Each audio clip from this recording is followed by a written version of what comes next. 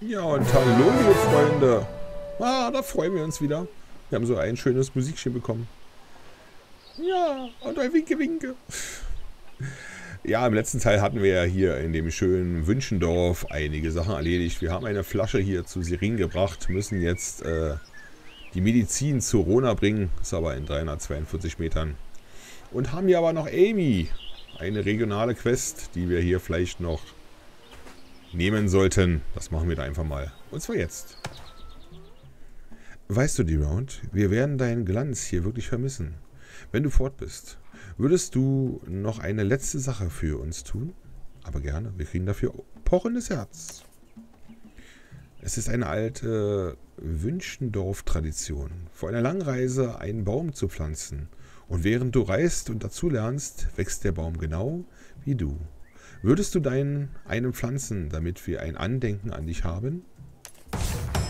Du aktivierst Quest-Gegenstände, indem du ihre Symbole im Quest-Tracker rechts klickst. Machen wir doch gerne. Pflanze folgende Gegenstände ein junger Schüssling. Wo sollen wir die pflanzen? Hier irgendwo? Ach, da sind ja die schönen hier. Hier ist ja der Jatta. Ein schönes Pferdchen. Und da hinten ist noch ein Esel. Aber ich glaube, wir kriegen noch keine Reittiere. So. Wir sollen hier was schön, schön ihren Tag, wir sollen hier was pflanzen. Hm, da ist Daisy. Drücke Numlock, um automatisches Laufen zu aktivieren, ohne dabei die W-Taste gedrückt halten zu müssen. Zur ersten Verkostung meines Tranks. Ah, dann können wir uns wieder etwas Sprit holen, dann sind wir etwas schneller, aber wir müssen erstmal pflanzen. Wo genau? Ups. Sollen wir hier was pflanzen? Was, hier mitten auf dem Weg? Na gut, okay, pflanzen wir hier mitten auf dem Weg was. So, bin schon dabei. Und da ist er schon. Ging aber zügig. Mein Bäumchen. Bäumchen, äh, wende dich, äh, wechsel dich. Nee, halt, Moment. So. So, ist doch schön automatisches Laufen brauchen wir nicht. Oh, er wächst ja schon. Wir können ja mal winken. Vielleicht wächst... Oh, der wächst, der wächst ja viel schneller. Der wächst ja richtig gut. Bis hier ist momentan, wo meine Maus ist. Oh, plups. Das ist schön. Vielleicht, wenn wir mal wiederkommen. Hoppala. Ist er denn schon etwas größer? Oh, der wächst ja richtig gut, der Baum. Blub. Da ist aber was hier. So, okay, wir müssen in die Richtung gehen. Ähm, da an der Küste lang? Oder da lang? Ich glaube da lang. Wir werden aber noch ein Getränk nehmen. Und dann rasen wir etwas schneller. Das ist doch schön. Fahrzeugschaffner Neper Neperin oder wie er heißt. Was haben wir hier? Wir können auch mal langsamer laufen. Oh, ein Wildschwein. Hier können wir wieder was trinken. Energietrank. Ah, hier können wir auch die Kutsche nehmen, aber wie gesagt, die ist ja im Allgemeinen nicht gerade schneller. Die ist vielleicht witzig, aber nicht schnell. Hier können wir schon wieder einen Energietrank nehmen.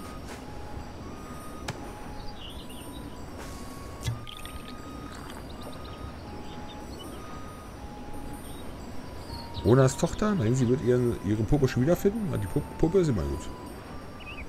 Sie winkt schon wieder. Winke, winke. Was haben wir hier? Dann haben wir noch ein paar Kaninchen. Rona, was ist denn los? Was ist das? Die Medizin? Die ist von Ellen, oder? Das muss ihn einen ganzen Monat zugekostet haben. Er ist so lieb zu mir und Jenny. Als er das letzte Mal hier war, hat er ihr sogar eine kleine Puppe gemacht. Warte, wo ist Jenny? Sie sagte, sie wollte ihren Vater im Blaunebelwald suchen, aber sie ist schon zu, viel zu lange fort. Könntest du sie bitte suchen und ihr sagen, dass sie nach Hause eilen soll? Ich will nicht, dass sie in diesen Wäldern herumwandert.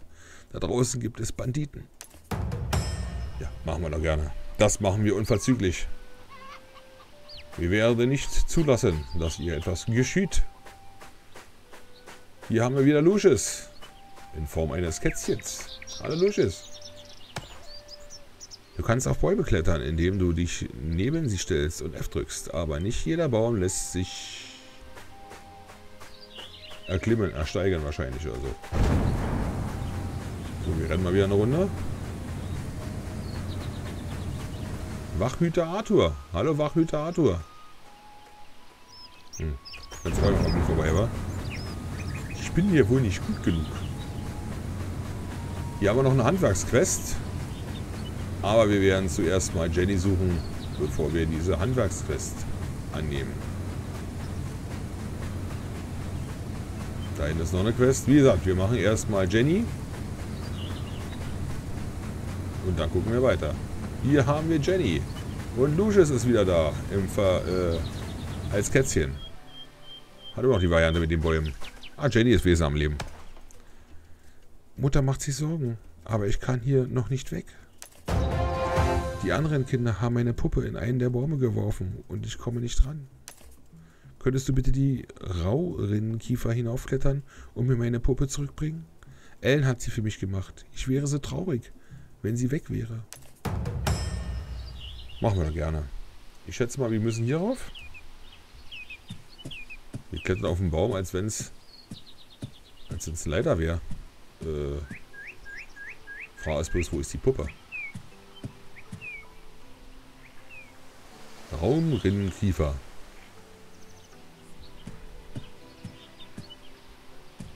So hoch können die doch nicht sein, oder? Ah! Hier leuchtet was. Eine Puppe? Ah, das ist eine Puppe, Tatsache. Ein... Uh, nicht runterfallen. Uh, ein Püppchen.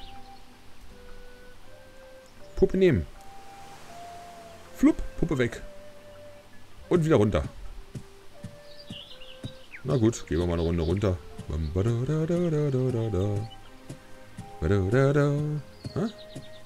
Wie eine Leiter. Wie geübt. Der blickt nach unten. Richtung Jenny. Hallo Jenny. Ups.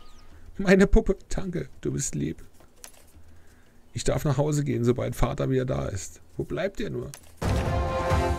Ohne meinen Vater kann ich nicht heimkehren. Ich muss ihm versprechen, dass ich hier auf ihn und Speerhauptmann Klick warte. Könntest du nach ihm suchen? Ein Skill-Upgrade. Unser Frostpfeil ist auf Rang 2 hochgestuft. Das ist nett. Dankeschön. Äh, ja, eigentlich wollte ich ja zurück da und äh, die Quest noch machen, gell? Und jetzt kommen da zwei neue. Ah. Ich hatte immer vorher die, die, Sachen, die, Hand, die Sachen zu beenden, aber ich glaube, so, wie, Hand, so wie diese Handwerksquest muss ich mal zwischendurch mal machen. Also wir werden mal gleich mal hingehen zum Speerhauptmann. Werden aber vorher noch diese Handwerksquest schnell machen. Die nehmen wir auf jeden Fall mit. Da kennen wir ja nichts.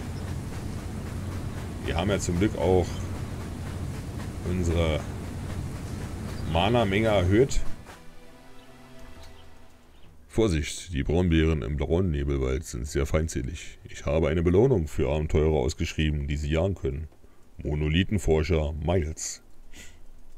Es gibt 930 Erfahrungspunkte. Entschuldigt, ich nehme an. Das heißt, wir wollen, sollen hier eine, ein paar Braunbären erlegen. Hungriger Braunbär. Ist zu weit, wa? Das ist zu weit. Aber auch hier jetzt. Wir mal den Frostpfeil werden wir mal nehmen. Oh, jetzt haut der auch noch ab. So, du Frostpfeil, komm her. Frostpfeil ist ja weird. Oh! Der hat aber bloß... Oh! Der Frostpfeil ist ja bloß kurz. Er hat nur eine einmalige Sache sozusagen. Geldbörse des Farmers ervor, äh, erworben. Erworben, ja.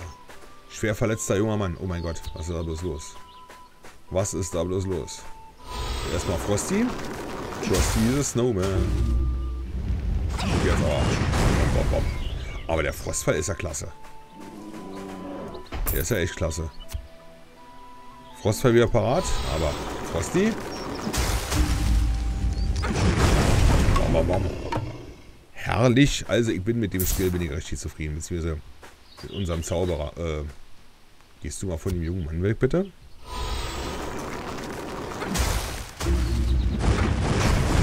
Waff, waff, waff. Und weg ist er. Schon wieder der nächste da.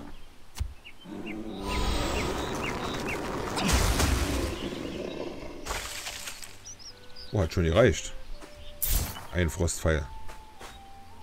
Achso, ich dachte, ihr könnt irgendwie noch gucken. Schwer verletzter junger Mann, ob da was ist, aber...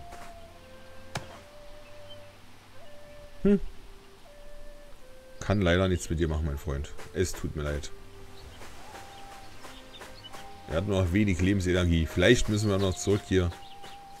Aber momentan müssen wir erstmal zu unserem Speerhauptmann. Klick. Und da Jennys Vater besuchen oder wie auch immer, äh, ja, nachfragen. Der Vater der kleinen Jenny. Oh, du meinst Miles, den Monolithenforscher. Ach, der hat ja auch das Belohnung ausgegeben für die Bären. Als ich Miles letzt gesehen habe, war er im südlichen Monolithen. Er ist ganz verrückt nach diesen alten Dingern. Vielleicht findest du ihn immer noch dort. So habe ich das Gefühl, nee, wir müssen nach da. Gut, wir wissen aber jetzt, dass wir doch lieber denn die Quests, wenn die so weiter weg sind, beziehungsweise die nächste so weit weg, das lohnt sich ja nicht reinzugehen. Sonst kriegen wir die Quest hier, soll angeblich eine gelbe, soll eine regionale Quest sein, oder? Wir gucken mal. Der Speer Philipp. Du gehst da wirklich hin. Dieser Bereich von Blaunebel wimmelt nur so von untoten Geistern. Die meisten wandern einfach umher und greifen alle an, die ihnen zu nahe kommen. Aber ein Geist steht einfach nur am nördlichen Monolithen und starrt uns an. Du könntest ja mal mit ihm sprechen, wenn du genug Mumm hast. Aber mich kriegen keine zehn Pferde dorthin. Ich bleibe schön im Land der Lebenden. Jawohl. Na, da bist du also ein richtiger, hm? Ein richtiger Held. Ach, da hinten ist der Geist, der Geist am Monolithen. Haben wir hier noch irgendwo was? Nö. Wir gehen dann mal zum Geist des Monolithen. Hallo Monolithengeist. Fällt mir ein, ich wollte mal meinen Namen hier wegmachen. Ah, vielleicht beim nächsten Mal. Oh. Spuk am Monolithen. Monolithengeist. Kannst du mich sehen? Lebendes Geschöpf. Wirst du dir meine Geschichte anhören? Die Geister an diesem Ort sind ruhelos. Sie sind die Opfer von Velpo und seiner Diebesbande und wurden auf den Straßen des Blaunebelwaldes umgebracht. Sie werden erst Ruhe finden, wenn ihr Tod gerecht wird. Du musst die Mitglieder von Velpos Bande erledigen, um Velpos blutigen Zeichen, blutige Zeichen zu sammeln. Velpo und seine Leute haben ihr Lager südlich von hier. Bringe sie und kehre mit einem Beweis ihrer Niederlage zu mir zum Monolithen zurück. Ich werde dir dabei helfen, diese unglücklichen Seelen zur Ruhe zu bitten. Okay. Das heißt, die müssen, die müssen wir auch noch erlegen. Oh, wird ja langsam anstrengend hier. Gut. Das heißt, hier haben wir in der Nähe nichts erstmal. Wir rennen dann erstmal ein bisschen schneller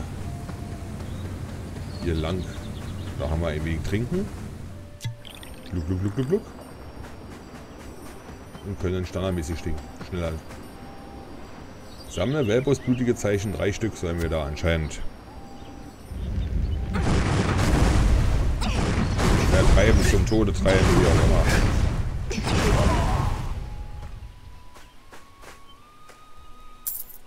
Gegenangriff der Pupu-Armee. Ja, wie gesagt, vielleicht auch hier werden wir vielleicht mal ein bisschen mehr mit dem PvP arbeiten. So, erstmal der Frostpfeil. Der könnte ein bisschen... Ah, der ist auch ein bisschen stärker, Junge.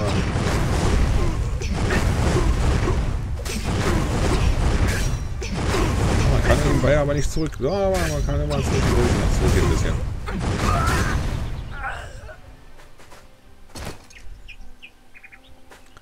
Da muss ich mir bei Zeiten mal noch was gucken. Äh, äh mal was.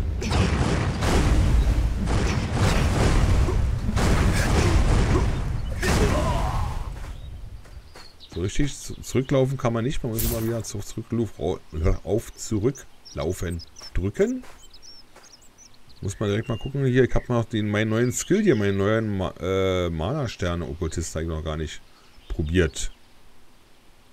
Da ringt sie schon wieder. Ich denke, du sollst zu dir zurückkommen, mein Freund. Sprich mit Monolithengeist. Wo ist er denn nun? Ach, hier wandert der Geist sogar, ja? Ah, ich verstehe. Es sind aber viele von Velpos äh, Jüngern. Ach, der Geist ist hier öfter mal vorhanden. Na gut. Äh, da ist ja noch ein Geist. Da sind viele Geister. Oh, es sind nur Alpha-Geister. Ach du Schande. Na gut, hallo. Du hast es geschafft. Schon jetzt fühle ich, wie eine große Last von meinem Geist abfällt. Halte deine Hand auf. Dieses brennende Herz hat die Macht, die Geister dieses Ortes ins Jenseits zu geleiten. Wirf das auf einen der am nächsten befindlichen Geister, dann findet er Frieden und dann komm zu mir zurück. Okay, setze brennendes Herz gegen einen Geist ein. Links oder rechts? Ach, wir gehen mal hier auf den. Angeblich, angeblich sollen wir ja da. Wupp. Puff. Geschmissen. Ich, stand da gerade, ich sinke oder ich stinke?